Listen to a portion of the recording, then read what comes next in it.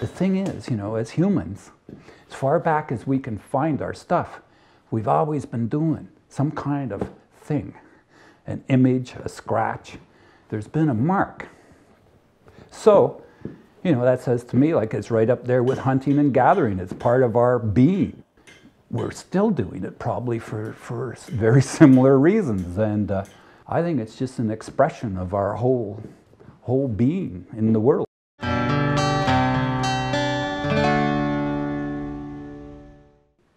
To make, uh, to make a living, art was never really a consideration.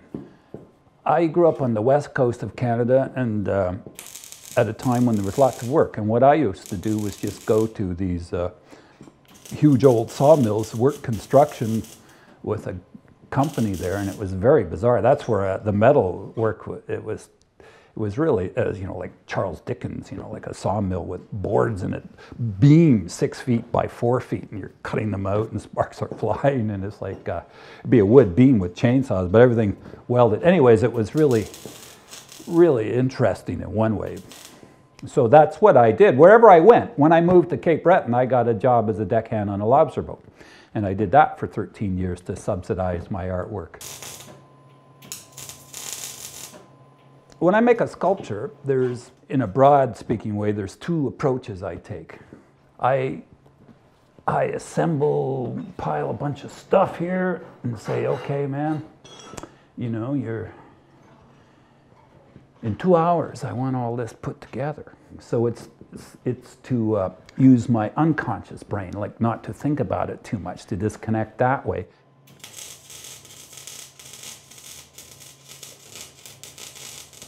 The other approach that I take is to work, um, like I would like to maybe sit down and listen to some music and do uh, automatic drawing, like just let the pen be moved by the music. And every now and then, there's an interesting image in there that I think would, would work.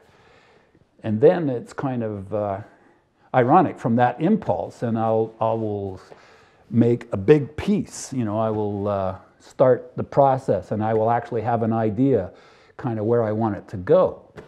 So I will take that material and make it do what I want it to do. Forging something I never did at the school, that's kind of all self-taught. And it's, it's really interesting to be able to move the metal, you know, and you can, uh, you can really, really get some uh, movement and tensions in space. And I think the visual is uh, more spontaneous. It's like you get it, you see it, it's real, it's there. And the thing with sculpture is it's very real, like you can walk right into it. I like the presence. It casts a shadow, it lives in our, our world.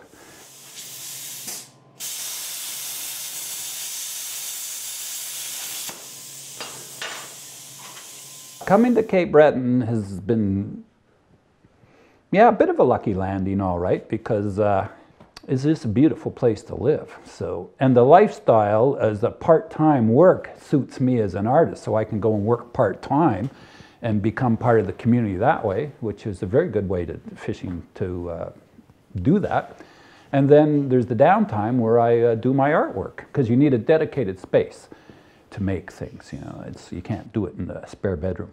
So it's uh, it's been great here. I've been able to uh, to explore the metal part, and because metal is uh, such a cool cool medium, once you get some welding skills down and whatnot, suddenly it opens up this the whole avenue of possibilities in uh, what you can actually achieve and do. And uh, as a byproduct of metal sculpture is making the tools to make the sculpture.